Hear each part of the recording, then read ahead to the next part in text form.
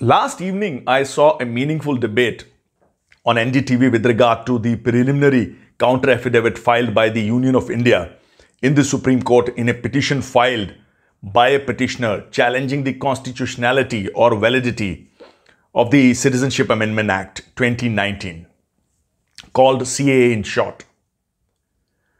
The, the debate primarily, you know, rotated around whether the CAA is violative of the international law regime as embodied in the international conventions.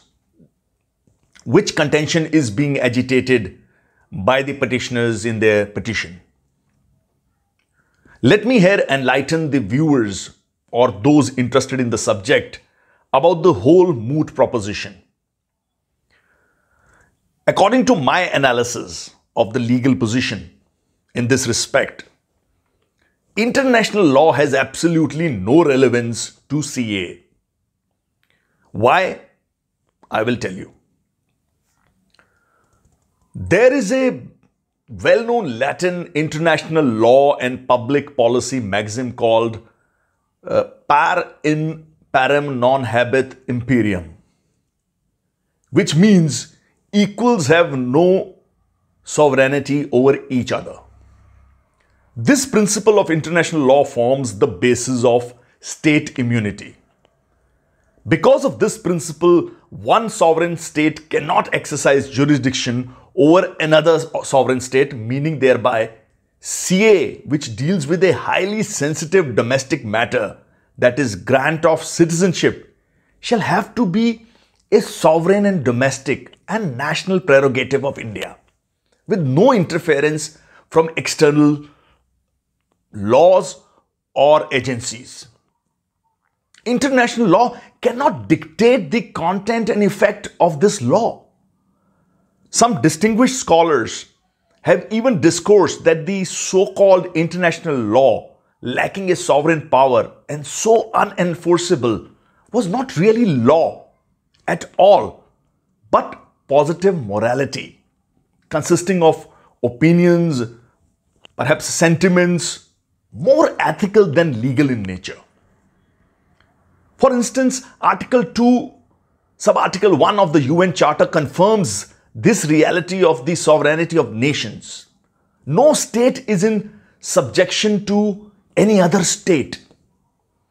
International law is the set of rules, norms, and standards generally accepted in relations between nations and not within the nation. The definition of international law centers on the word inter, which means between, as opposed to intra, which means within. So, literally, international law, I feel, is defined as law between nations, which are born out of agreements personified in treaty, conventions, or customs that is accepted by all countries, nations.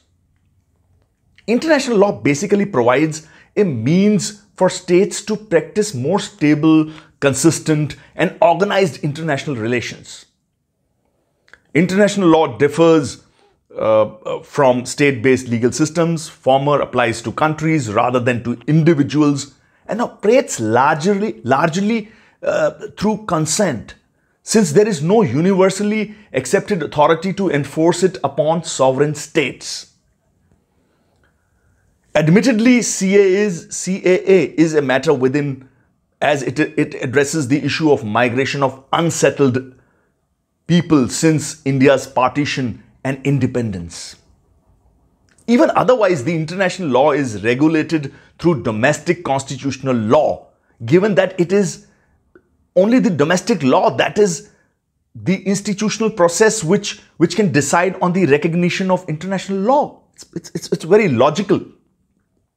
Finally, and most importantly, the supremacy and sovereignty of a nation as to its foreign policy, economic policy, or for that matter, legislation as a whole is sanctified by Article 46 of the Vienna Convention on the Law of uh, Treaties, which allows a country to invalidate an act that that ratified uh, a, a binding treaty through domestic legal measures if the procedure followed uh, for ratification overrode a national rule of fundamental importance to the existence of the state. This article completely demolishes whatever is left in the argument against the CAA from the international law perspective. Hope you found this talk informative. If yes, you may subscribe to this uh, YouTube channel. I'll be more than happy to answer all your questions. Thank you.